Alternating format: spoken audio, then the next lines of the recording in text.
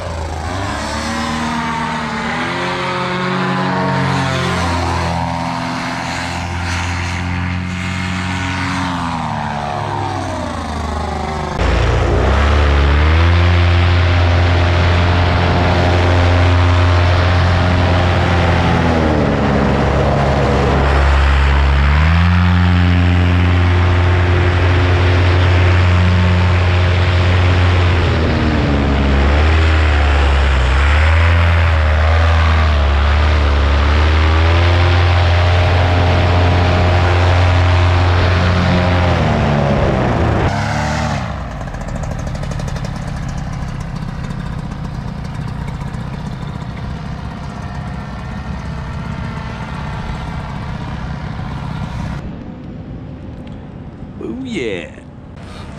Thank you, Mo. I really appreciate that. That was cool.